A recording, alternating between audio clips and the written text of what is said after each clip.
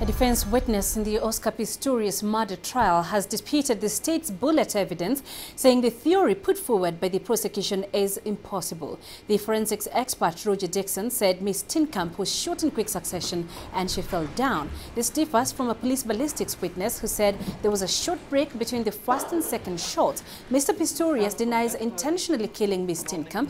He says he fired rapidly in fear through the toilet door after he mistook her for an intruder. The double amputee Olympic and Paralympic athlete faces 25 years to life in prison if convicted of premeditated murder.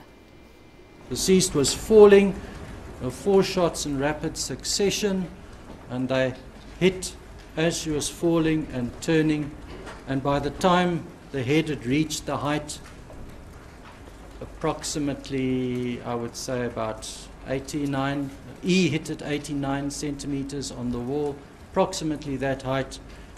Uh, the bullet wound to the head, 4.1, would be inflicted, and that is happening as the person is hitting the magazine rack and ending up on the floor, head going forward, resting against the toilet bowl, my lady. In order to fall and cause a contusion of that size, you, you're falling fast. You're not sitting. It's not a voluntary movement. Um, I would not expect to get those bruises if one fell on here. If you were sitting and if it, you fell hard enough to bruise, I would not expect the vertical contusion. I just ex expect a, a, a, horizontal bruise, most probably across both buttocks. Continues on Thursday and will then resume on Monday, 5th of May, following an Easter holiday break.